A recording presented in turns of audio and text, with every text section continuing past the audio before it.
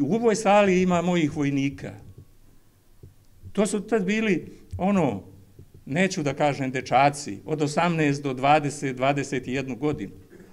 Ali to su bili strašni borci, junaci, heroji. I rat se završio. I u vašem ovde kraju ja imam jednog borca u Vladimirovcima, kome ove godine treba da pravimo kuću, jer mu je kuća izgorela. Pa znate kako je to opterećenje? Kad mi, ratni drugovi, moramo, znači, da izdvajamo, šaljemo pare da bi se neko lečio, kada izdvajamo novac da bi, jer jednostavno nema čovjek sredstava za život. Ovome ako ne napravimo kuću, ko će mu drugi napraviti? Gde je tu država? Mi smo samo pojedinci. To se može samo sistemski rešiti. Sistemski kroz zakon. I u našoj koaliciji. I sa Milošem, i sa Vojom. Imamo apsolutno iste stavove prema borcima. Pa kako? Kako da očekujete sutra da neko brani ovu državu, a zna kako su njegove komšije, njegova braća, njegovi rođaci prošli za ovih 20 godina, a pokazali su celom svetu. Tek sad kad vidite Ukrajinu, vidi se koliko je to strašna borba bila i koliko je bila, znači, uspešna sa naše strane. Nije niko tad razmišljao o tome šta posle rata. Ali su ljudi očekivali da će država, makar kad treba borci da se leče, jer ih je mnogo obolelih. Meni svakog meseca umire praktično po jedan borac. A to su ljudi koji imaju od 43 do 46 godina. Pa u tim godinama se ljudi ne umire. Ali država ne reaguje. E pa, zato smo mi tu da je nateramo da reaguje. Ne tražimo, ne tražimo mi mnogo za borce. Tražimo prvo da se leče. Zatim, postoji nešto što se zove posttraumatski sindrom toga Amerikanci su u Vijetnamu 60% njihovog ljudstva. To ja razumem. Oni su tamo bili agresori, pa zbog toga je 60%. Kod nas to je procenat možda od 10 do 15% ljudi, vojnika. Pa pazite, to je bila neka mladost koja je gurnuta u jednu strašnu situaciju. Hoćemo da nateramo državu da ne kaže, e, ako je do dve godine posle rata, mi to priznajemo. Ne. Posttraumatski sindrom može da se javi i poslednjeg dana života. Bitan je samo taj okidač koji može čoveka da dovede do toga. Sledeće, imamo mnogo boraca koji ne mogu da rade. A po zakonu, znači, ne može ništa da se za njih uradi. Može socijalna pomoć. Ovaj zakon je predvideo nekakav borački dodatak.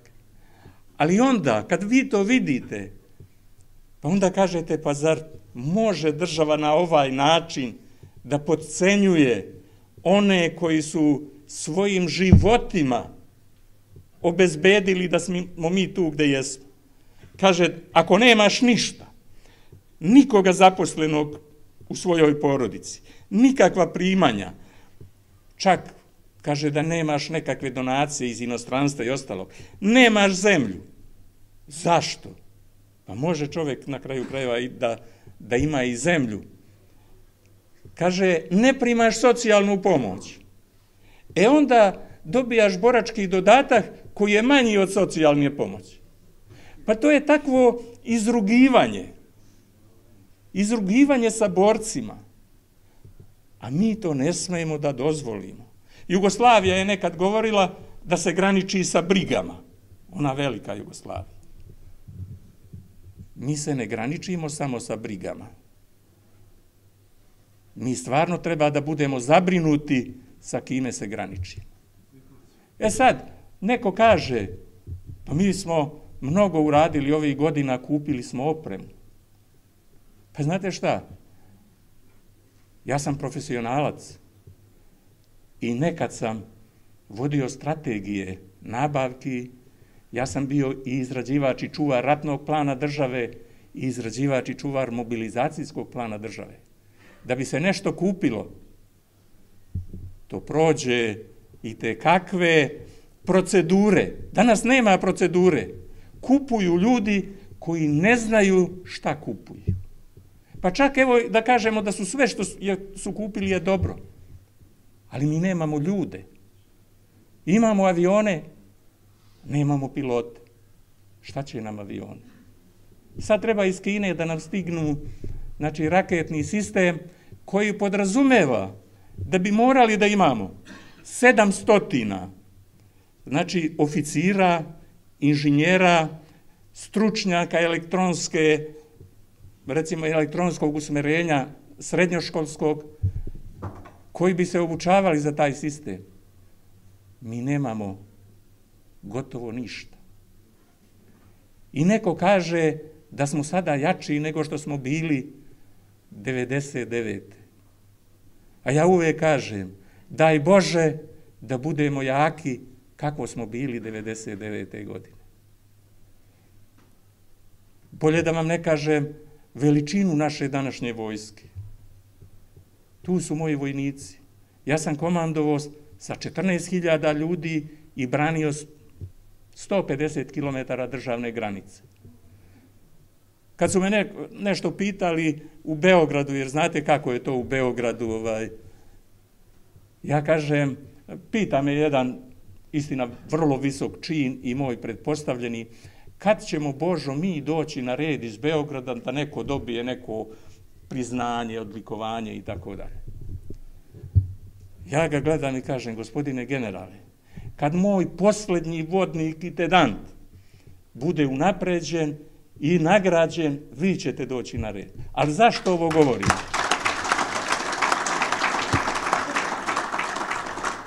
Moji intendanti nisu bili intendanti.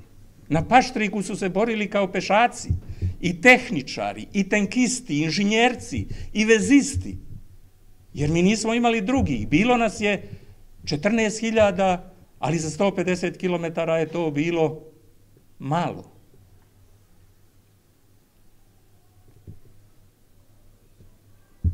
Ja danas kažem, ne daj Bože, samo da nas neko napadne, jer moja tadašnja brigada je po brojnom stanju jača od današnje celokupne srpske vojske. I u vojsci je sve okrenuto naopako. Mi u vojsci imamo 6000 ljudi medicinske struke. Na ukupno 25.000 pripadnika. I svega od 10 do 12.000 operativne vojske koja ni ne liči ni po čemu na vojsku kakva je bila 99. Zato i naše opredeljenje prema vojnom roku je apsolutno isto. I mi očekujemo, jer znamo da naš predsjednički kandidat i da će Bog predsjednik Srbije ima snage i da će se uz našu pomoć izboriti da to bude tako. Da ne moraju oni Srbi na Kosovu i Metohiji da stalno strepe. Na Kosovu i Metohiji treba da strepe šiptari.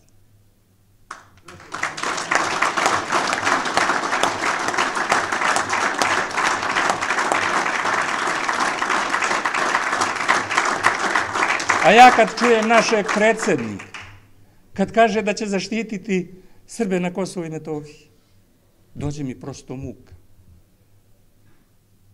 To je ono kao, kaže, preti praznom puškom ili ono, kaže, mečku rešetom.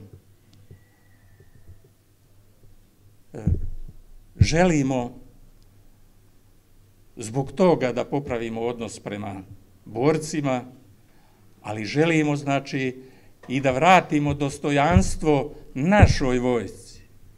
Da to opet bude ona ponosna srpska vojska koju su cenili i prijatelji, a koju su poštovali i neprijatelji, pa su izginulim srpskim vojnicima podizali i spomeni.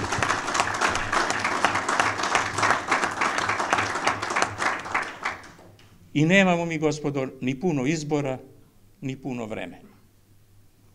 Ja kad vidim šta se radi sad neposredno pred izbore, da u javnim preduzećima članovi ove vladajuće partije dobijaju po nedelju dana slobodno da učestvuju u aktivnostima, da putuju autobusima, da su dobili tačno koga treba da zovu, da se zna, jer ih već ima zaposleno stotine hiljada na raznim mestima.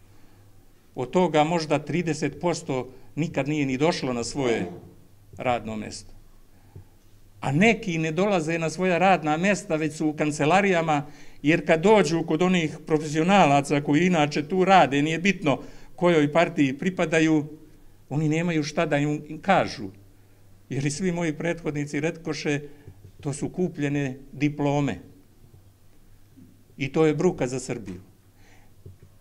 Vi, verujem da delite moje mišljenje, mi smo danas vazalska država. Ajde, da li bi neko normalan poslao bilo gde za ambasadara nekoga kao Jelenu Milić? Ali zašto je to tako, gospodo? Žele da nas ponize kao narod.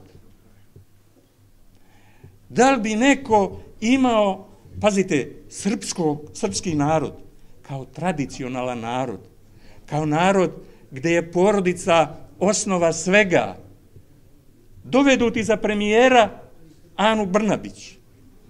Pa to je upravo do, urađeno zbog toga da bi videli da li ćemo da reagujemo i da bi nas ponizili do kraja. Ako ne reagujemo sad, možda ćemo imati šansu još jednom. A onda pitanje šta će ostati od Srbije i pitanje da li se to više može popraviti. U ovoj koaliciji postoje ljudi za sve. Mene neki pitaju, kaže, aj ti si vojnik, šta ti znaš o ekonomiji? Ja kažem, pa ne moram da znam ništa, ali mogu da ti kažem da nešto što smo i pomenuli večeras, kažem, oslonac na sobstvene snage je nešto što samo može da podigne Srbiju. Ovaj mi kaže, ali Vučić je 150 preduzeća otvorio. Kažem, je li jedno srpsko? Nije ni jedno srpsko. To su sve strana preduzeća. Kažem da je otvorio makar 10 srpskih. Ja bi mu za tih 10 skinuo kapu. I kad hoću ono, kažem, a vaš program? Pa ja kažem, naš program u poljoprivredi, naš program u industriji, u čemu god hoćete, imamo ga. O tome može satima da se razgovara. Iako sam vojnik, kaže, mogu s vama satima o tom da pričam. Ali kažem, ako hoćeš u dve reči, samo da ti kažem, kakav je naš ekonomski program? Raditi sve suprotno od onoga što radi Vučić.